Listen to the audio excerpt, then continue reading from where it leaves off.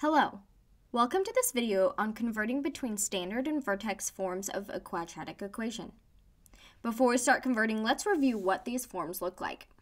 Standard form of a quadratic equation is y equals ax squared plus bx plus c, where a, b, and c are real numbers and a does not equal 0.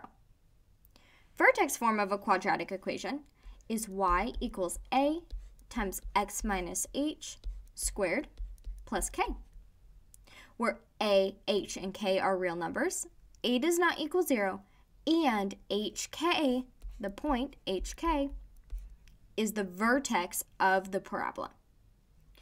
So now that we've reviewed these forms, let's start by converting a standard form equation to vertex form. So let's convert the standard form equation y equals x squared plus 14x minus 9 to vertex form. In order to do this, we need to complete the square. To complete the square, a must equal 1. In this equation, a is already 1, so we can move on to the next step. Find the b value, divide it by 2, and square it. So we'll have b divided by 2 squared. Our b value is positive 14, so 14 divided by 2 squared is equal to 7 squared, which is 49. Now add and subtract this value after the x term. So we'll have y is equal to x squared plus 14x plus 49 minus 49 minus 9. So this trinomial right here factors to x plus 7 squared. So we'll have y equals x plus 7 squared minus 49 minus 9. Remember, the point of completing the square is to get it to factor into something that looks like this. So now all we have to do is combine our like terms right here. So we'll have y equals x plus 7 squared minus 58. Now notice that we went through this completing the square process fairly quickly. If you want some more help on this, see one of our other videos where we go more in depth over how to do this process.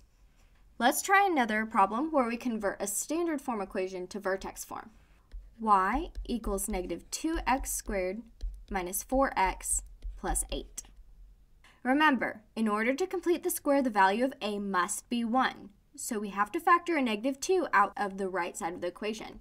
So we'll have y equals negative 2 times x squared plus 2x minus 4.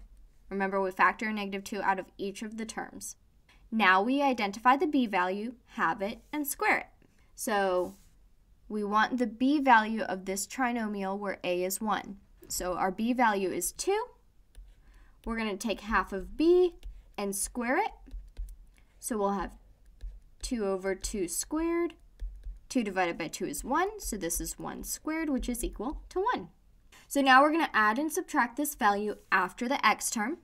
So we'll have y equals negative 2 times x squared plus 2x plus 1 minus 1 minus 4.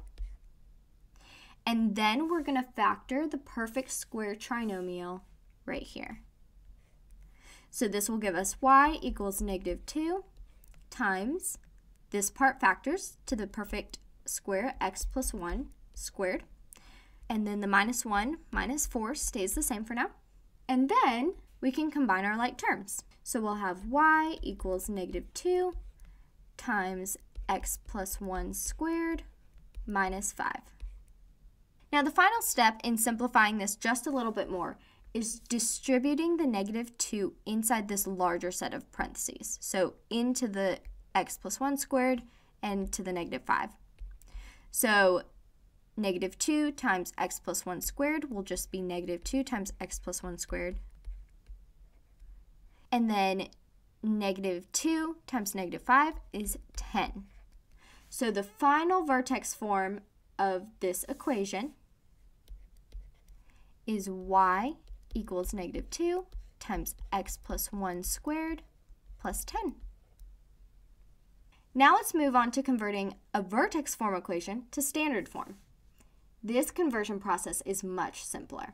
So convert the equation y equals 3 times x minus 4 squared plus 7 to standard form. The first thing we need to do is expand the squared term. So we'll have y equals 3 times x minus 4 times x minus 4 plus 7. And then we can FOIL to simplify this part. So we'll get y equals 3 times x times x is x squared. x times negative 4 is minus 4x. Negative 4 times x is also minus 4x. And negative 4 times negative 4 is positive 16 plus 7. Now we can combine like terms here and get y equals 3 times x squared minus 8x plus 16 plus 7. Now we can distribute the 3 to the trinomial and we'll get y equals 3x squared minus 24x plus 48 and then the plus 7 stays for now. And then finally we'll combine like terms. So we'll combine these two terms to get y equals 3x squared minus 24x plus 55. And there's our equation in standard form. Let's try one more example before we go. Convert the equation y equals negative 11 times x plus 8 squared minus 9 to standard form. So start by expanding the squared binomial. We have y equals negative 11 times x plus 8 times x plus 8 minus 9. And again, we can FOIL these two terms and get y equals negative 11 times x squared plus 8x plus 8x plus 64 minus 9.